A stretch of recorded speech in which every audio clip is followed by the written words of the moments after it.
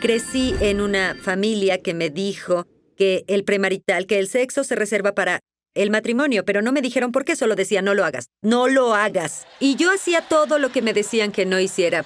¿Por qué no hacer eso? Estaba en la universidad, me acuerdo que decidí ser responsable con mi sexualidad, así que me aseguré de tener control natal, se los di a mis hermanas de fraternidad. Yo era la santa patrona del control natal de mi fraternidad y nunca imaginé que mis elecciones sexuales, que consideré tan liberadoras, volverían luego para atraparme.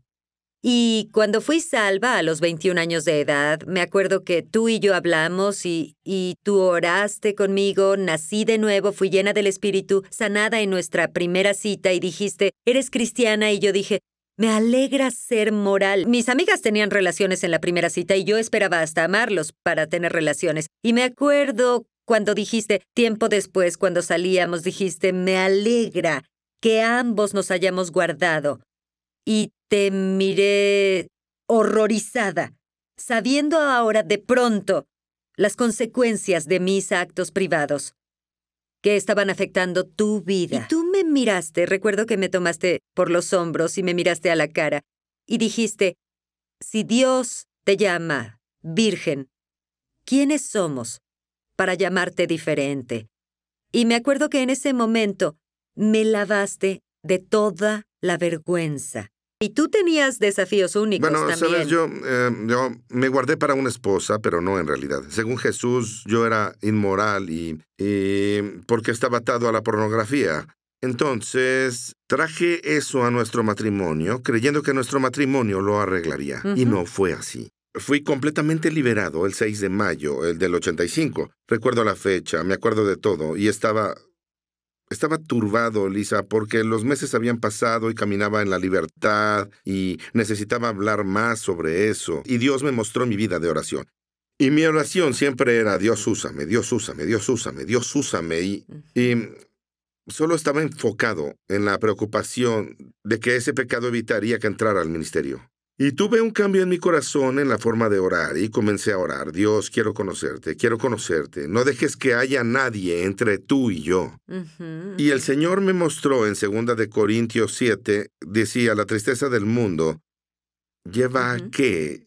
Lleva a, a la muerte y la la muerte y la condenación. La tristeza de Dios lleva a la salvación, que es la liberación.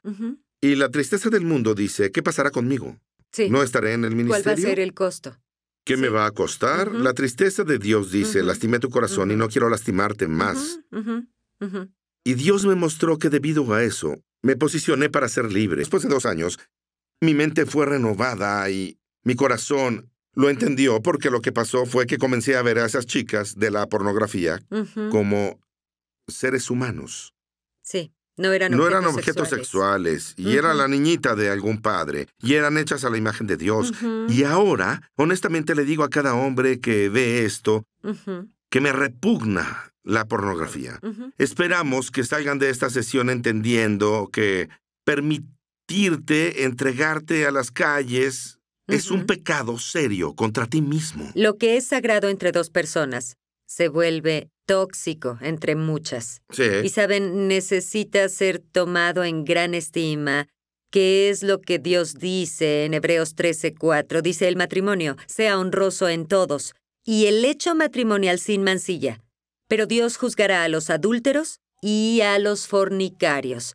Y es interesante porque muchas personas predican, oh, la cama matrimonial es sin mancha, puedes hacer lo que quieras Es en tu matrimonio, pero no es una escritura No es envolvente. de hecho, cuando lees esto en contexto a los verbos y lo lees en contexto a las palabras, ah, nos gusta dividir esto. Podrías decir que el matrimonio, el estado de estar casado, tiene honor concerniente a ser algo de excepcional valor, costoso, precioso entre todo, y que la cama matrimonial, una extensión figurativa de tener relaciones sexuales, actividad sensual, vida sexual, sea sin mancha, pura de transgresión sexual, porque Dios juzgará la inmoralidad sexual, el que comete inmoralidad sexual, sea hombre o mujer. En algún contexto, distinguiéndolo de un adúltero o adúltera, significa que hay inmoralidad sexual y hay adulterio, así que supongamos que digo, oh, bueno, nosotros estamos casados.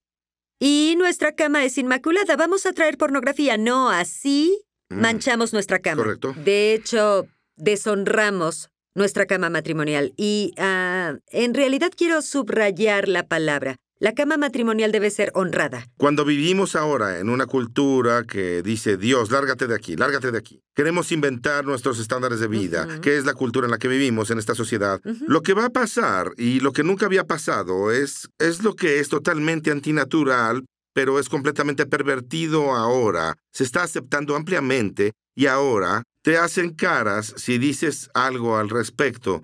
Nos estamos alejando. La evidencia externa es que nos alejamos del corazón de nuestro Creador. No estoy aquí para decirte lo que la sociedad dice que está bien. Estoy aquí para decirte lo que el Creador originalmente planeó para nosotros. Y eso es tan hermoso y maravilloso y adorable y satisfactorio. Ahora se está pervirtiendo. Ahora las personas no pueden disfrutar lo hermoso que Dios planeó para los matrimonios por lo Por que la sociedad está haciendo. Y, y, saben, la verdad es que puedes liberarte. Liberarte de la atadura de Sí. la homosexualidad, de la atadura de la pornografía, liberarte de la inmoralidad, la fornicación. Puedes ser libre, pero requiere trabajo. Necesita trabajo y por eso Dios dice, por favor, guárdenlo. Pero hay algo, está su misericordia. Y su misericordia viene a nuestras vidas y toma lo viejo y lo hace nuevo. Él puede renovarnos, pero es algo intencional. Tienes que decir, ¿sabes qué? Voy a tomar las promesas de Dios y voy a olvidar la cultura del mundo.